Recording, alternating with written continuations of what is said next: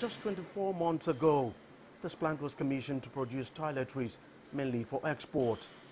It's one of three factories belonging to local manufacturer Bolus, operating in Lagos.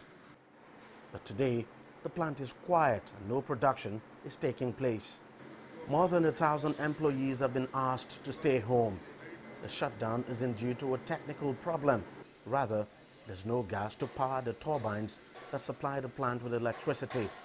The company says it just can't afford the high prices. Between May and uh, uh, this time, we have an increase just like that, about 65%.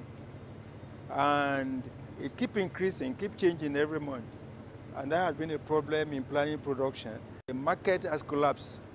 Uh, both the internal market and the uh, outside market. So we're not able to meet, we're not able to export, we're not able to sell here just because the price increase cannot be borne by the consumers. Manufacturers say locally, gas costs about three times the international average and they have to pay in dollars. We have an economy run by Naira. Why should you price it in dollar? It's not, it's not, it's, it's not done. So let's price our gas that is produced here in Naira.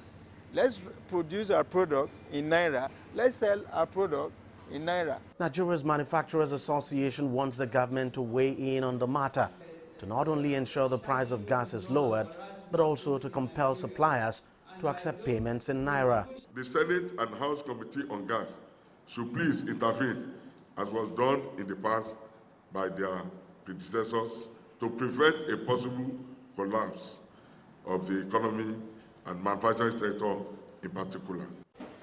It's a tough time for manufacturing in Nigeria. Access to foreign exchange to procure raw materials is almost impossible.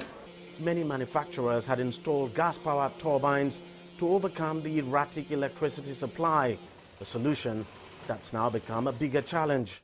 It's unbearable. You can't just survive. There's no investor that can, can uh, invest in this place. Nigeria has the largest gas reserves on the continent, but much of it is untapped and a substantial amount wasted through flaring. Now, disruptions in the Niger Delta region of the country by militants who are fighting for resource control has led to severe scarcity of gas. The situation is now having a knock-on effect on local manufacturers. Now, this factory will remain short, and if something isn't done about the dire gas situation, management says it may have to close shop permanently. Deji Badmus, CCTV, Lagos, Nigeria.